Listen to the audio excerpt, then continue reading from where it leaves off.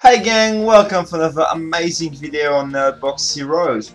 Today we'll be unboxing the Amazing Spider-Man. This is an action version and it's been sculpted by the legendary Randy Bowen from Bowen Design. There's only 1900 made in the world and its market values goes for 400 US dollars stands over 15 inches or 38 centimeters tall. For those who knows, Spider-Man has been portrayed by so many actors. My favorite actors who play this character so well is Tom Holland. I hope you guys are very excited to see the next Spider-Man coming in theater very soon.